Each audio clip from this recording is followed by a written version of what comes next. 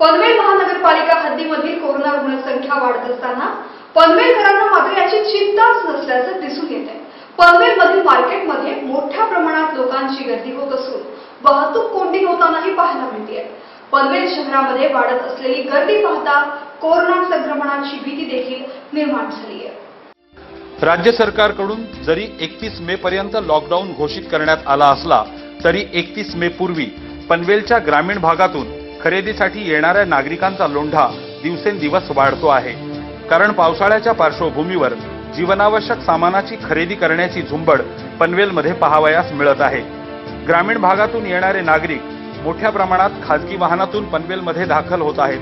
त्यामुळे पनवेलमध्ये वाहतूक कोंडीचा प्रश्नही जटिल बनत चालला आहे. काही दिवसांपूर्वी अगदी सुनसान वाटणारे रस्ते आता गाड्यांनी आणि माणसांनी फुलून गेले आहेत. मात्र या ठिकाणी सोशल डिस्टन्सिंगचं कोणतंही पालन करण्यात येत नसल्यामुळे कोरोनाचा प्रादुर्भाव वाढण्याची शक्यता नाकारता येत नाही. अर्थात पनवेल महानगरपालिकेकडून वेगवेगळ्या दिवशी वेगवेगळ्या प्रकारची दुकाने उघडण्याची परवानगी दिली गेली असली तरी गुरुवारी पनवेल शहरात जी गर्दी उसळली होती ती गर्दी पाहता कोरोनाचं संक्रमण निश्चित वाढेल अशी परिस्थिती होती. अर्थात या गर्दीवर नियंत्रण ठेवणं पोलीस प्रशासनालाही अशक्य होतं. त्यामुळे या बाबतीत पनवेल महानगरपालिका प्रशासनाने गांभीर्याने विचार करून ठोस उपाययोजना करायला हवी. अन्यथा सध्या पालिका हद्दीत असलेला कोरोना नावाचा राक्षस ग्रामीण भागातील जनतेलाही गिळंकृत केल्याशिवाय राहणार नाही.